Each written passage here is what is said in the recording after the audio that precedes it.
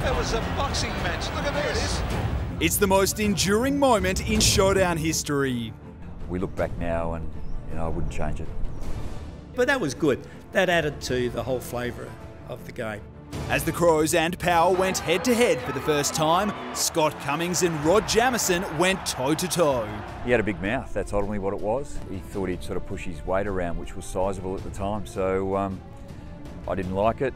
The fight cost Jameson three matches, but battle lines had been drawn in SA and the Civil War strayed off the field in 2002. The rival teams discovering the Ramsgate Hotel wasn't big enough for the both of them. Josh Carr and Mark Ricciuto trading blows just one day after Showdown 11. We went outside and we, we had a bit of a chat, and that chat uh, turned into to bigger things. But soon enough, the bad blood escalated into a blood feud as the pride of South Australia became public enemy number one. I could see Bickley coming, but um, obviously uh, too late to, to pull out. Bickley suspended for five matches after shattering Wakelin's cheekbone.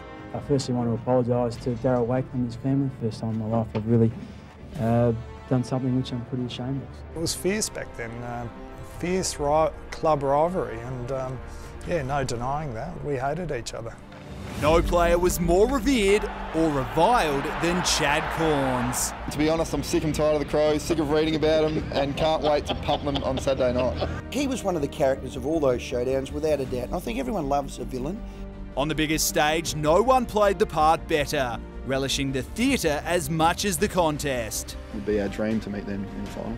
His dream quickly became a nightmare. Adelaide dominating the first and only September showdown, winning by 83 points. Where it was our only final, and we smoked them. Smoked them! That was my favourite. Yeah, especially after that final we lost, that was, um, didn't want to leave the house for a few weeks then. No contest captured the brutal nature of the rivalry quite like Showdown 24.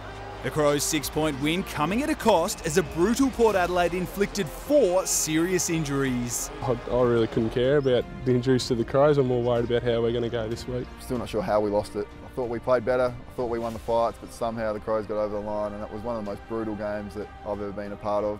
A new era dawned at Adelaide Oval before the Crows' colours caused controversy. Have you spoken to Port Power about this, Guernsey? No.